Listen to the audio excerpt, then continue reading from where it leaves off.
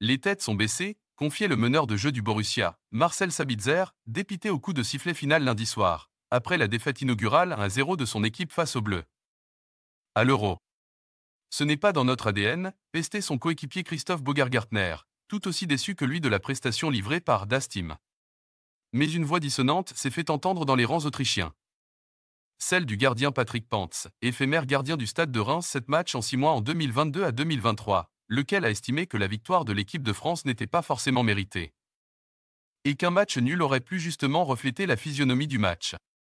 Je pense qu'à la fin, la France était heureuse que l'arbitre ait sifflé la fin du match, parce qu'au final, pendant la majeure partie de la seconde période, je pense que nous méritions le match nul, a-t-il déclaré. Selon moi, ils ont défendu très bas. Je m'attendais à ce qu'ils pressent davantage. Qu'ils soient plus actifs. Car c'est l'une des meilleures équipes du tournoi. Et je m'attendais à ce qu'ils soient plus actifs. Aux premières loges pour assister à la violence du choc entre le Lensois Kevin Danso et Kylian Mbappé.